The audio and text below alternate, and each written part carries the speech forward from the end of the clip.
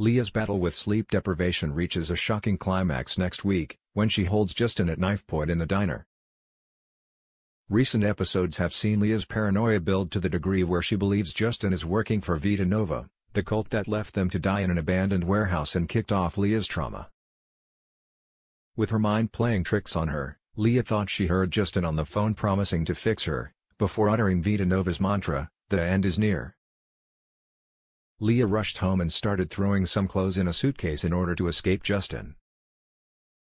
As we return to the Morgan house next week, Leah is interrupted by the unexpected return of Justin. Quickly hiding her case, Leah is on edge as she attempts to act normal in front of Justin, offering to make him lunch. Relieved when Theo walks in, and the second Justin exits the house she warns Theo that they need to leave immediately as they're in danger, Justin is working for Vita Nova. A perplexed Theo tries to calm Leah's panic to no avail as she continues packing. When he tries to convince her that she doesn't need to run away, Leah agrees. Instead, she suggests, they can go straight to the police. A quick hop over to Yabby Creek, Leah tells a stunned Rose, Kirsty Marillier, that she needs to go and arrest Justin. Rose ushers Leah into the interview room and has a quiet word with Theo. Theo's assurances that Leah's accusations aren't true thankfully aren't needed, as Rose explains that Leah really needs to be talking to a doctor.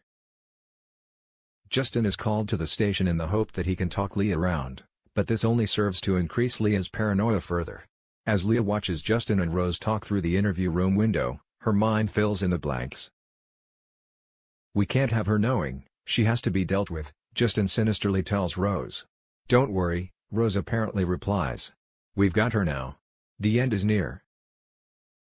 Having spoken to the hospital, Rose explains to Justin that the only way they can get Leah to see the mental health team, at this moment in time, is if they can convince her to go there voluntarily. But as Rose, Justin and Theo all enter the room to try and persuade Leah to go to the hospital, she believes that they've all turned against her and makes a bolt for it.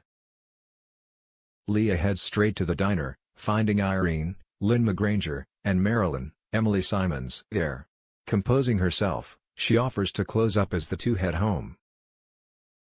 Once the coast is clear, Leah locks and bolts the doors and moves the tables and chairs, barricading herself in. When Justin later calls by searching for her, he sees the furniture piled and calls through the door, asking Leah to let him in. Desperate to talk her down, Justin pokes the door with a nearby plant stake and manages to force his way inside. Those bolts aren't what they used to be, only to be met by Leah who is now brandishing a knife at him. Theo's not far behind, and after walking in on the tense standoff, he begs his aunt to put the knife down. As Leah explains that she's not going to be taken to Vita Nova without a fight, Theo secretly texts Bree, Juliet Godwin, for help. When Bree eventually arrives, she warns Theo to be ready to call OOO if things don't go as planned. Will Bree be able to convince Leah that Justin isn't out to get her, or will she have to get reinforcement?